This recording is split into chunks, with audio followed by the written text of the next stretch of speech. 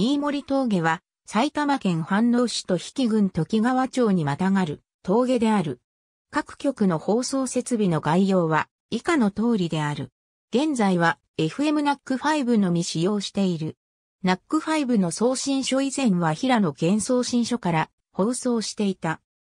しかし、埼玉県北部地域から群馬県東部にかけて東京電力が設置した超高圧送電線による電波障害のため開局当初から受信環境の悪かった埼玉県北部の環境改善及び新中継局を設置するために必要な周波数が不足していたことを理由に1998年6月に移転した。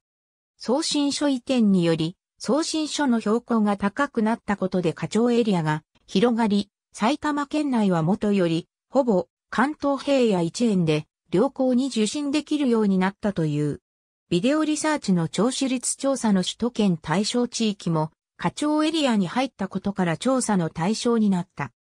なお、平野幻送信書は、送信書移転後も不定期に、放送終了後の原力放送による試験放送など、予備送信書として使用していたが、2014年8月現在は廃止されている。ありがとうございます。